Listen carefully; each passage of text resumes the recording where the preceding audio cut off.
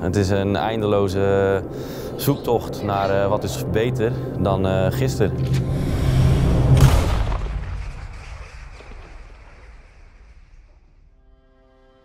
Ik was 13, 13 toen ik uh, in Ierske begon in, de afwas.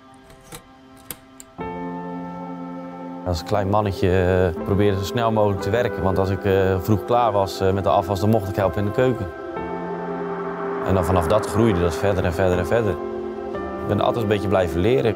Via school hadden ze uitgeroepen van nou, je wordt talent van het jaar en als je wil kan je studiebeurs krijgen. En elke week was het gewoon een wedstrijdje onderling. Wie had het mooiste gerechtje? Wie had er een nieuwe techniek die we nog niet hadden gezien?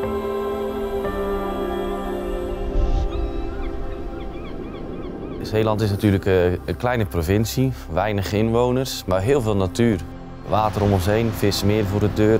Oosterschelde echt letterlijk een kilometer hier vandaan. Dat proberen zoveel mogelijk te integreren in de keuken.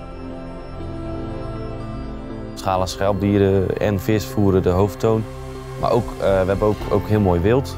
Uh, ja, dat, dat, dat wordt geschoten hier in de polder. Denk aan haas of fazant of uh, eenden, super mooi. Als je verder wil komen in dit vak, dan, dan denk ik dat, dat, dat je alles ervoor op moet geven. In ieder geval toch veel. Dat dat de sleutel tot succes is.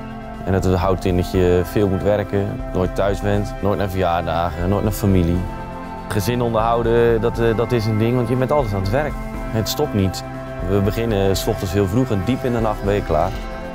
En dat, ja, dat moet wel een beetje in je zitten, anders dan, uh, ja, dan moet je dit gewoon niet doen.